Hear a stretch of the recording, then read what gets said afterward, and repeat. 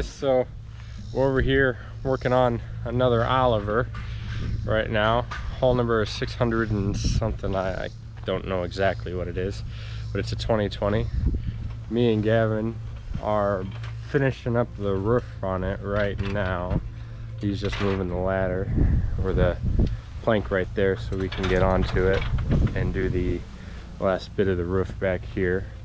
And Denver is working on the bottom section over on this side. He already got this side done over here, so he's all done with that.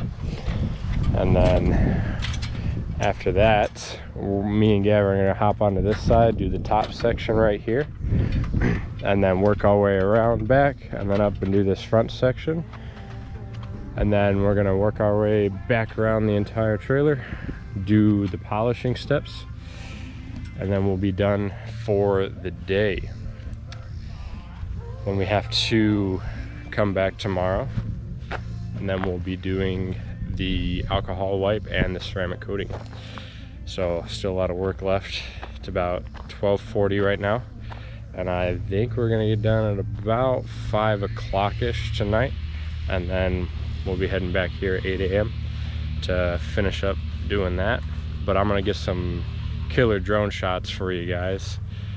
Maybe killer. Hopefully it'll turn out good. And then you'll be able to see kind of our process some cinematic views of the Oliver and whatnot.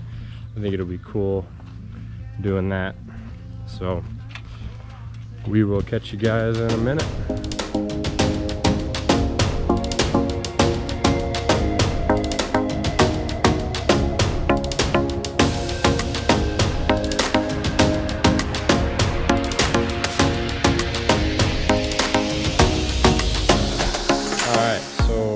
close to finishing up with the polishing right now.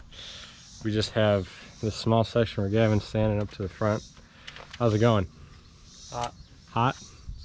Hot. At least it didn't. At least it didn't rain today. Yeah, at least it didn't rain. I guess Rain's that's a plus, right? Uh, and then back here, we've got the spare tire section. And then over here a little bit too, to about this outlet right here. And then we'll be finished up with the polishing. So it's about 309 right now. So we're getting close. I said I think we'll be done about five. We might be done a little earlier. We still got to do the alcohol wipe to get off all the polishing residue.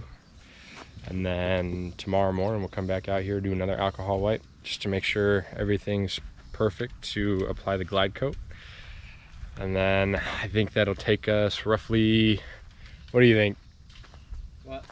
Five hours to do the ceramic? Four. Four hours? Oh, you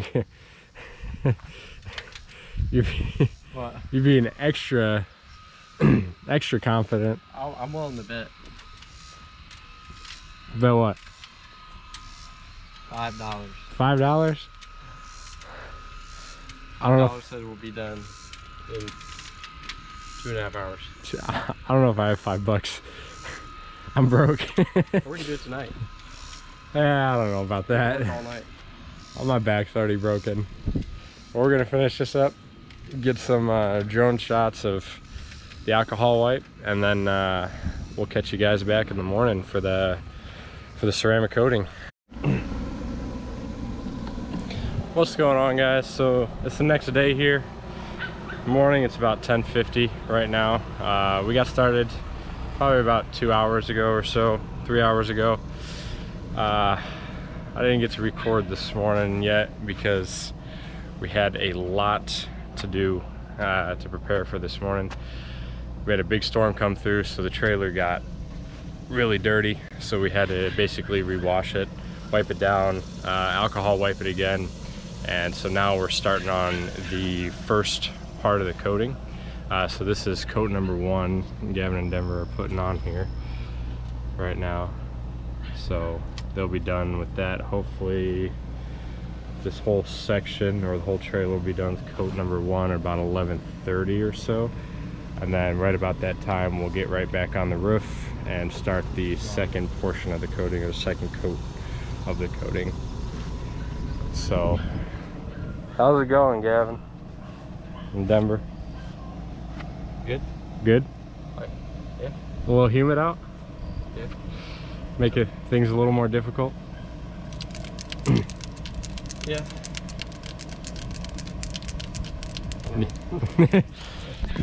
so the humidity kind of sucks when it comes to putting on the coating or just drying the trailer in general because it just keeps everything so wet so we got to deal with that as well but we'll get over it and we'll get through it. And uh, I'll get some drone shots as well so let's get to it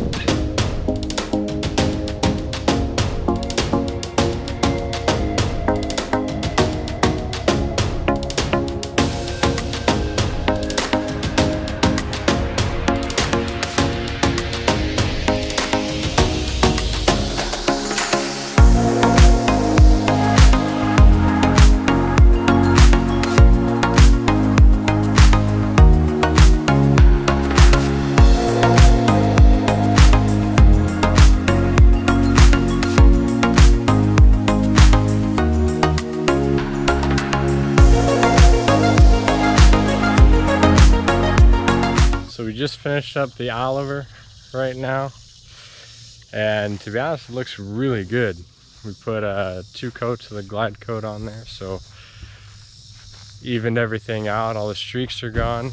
All the little imperfections are gone after doing the buffing and the compounding. And it is just looking glossy smooth. This thing looks beautiful.